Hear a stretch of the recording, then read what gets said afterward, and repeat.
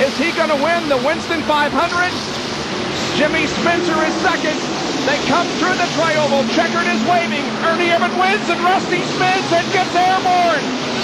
And flips wildly right at the start-finish line. Very reminiscent of his accident at Daytona. Oh, man. That is too bad. Come on, brother. Let's see. What a way. Yeah, he's moving. I see him moving around in the car. I see. I, I saw it there. We see his head moving around. Yes, we do.